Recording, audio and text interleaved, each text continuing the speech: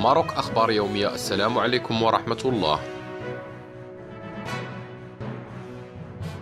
قضت الغرفة الجنحية بالمحكمة الابتدائية بمدينة مراكش يوم الجمعة بالسجن أربع أشهر موقوفة التنفيذ في حق الشاب الذي قام بتسجيل مقطع فيديو سخير خلاله من شخص معوز بمراكش. وكان الضحية بعز الدين قد تنازل عن متابعة الشاب بعد تدخل مجموعة من معارف الطرفين حيث تقدم دفاع المتهم بوثيقة التنازل أمام المحكمة.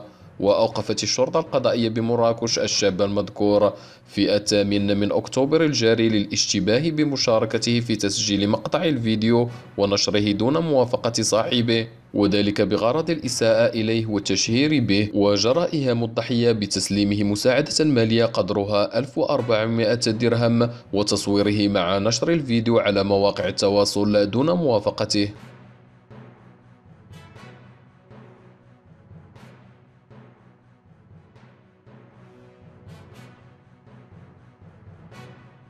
نشكركم على حسن المتابعة. قناة ماروك أخبار يومية.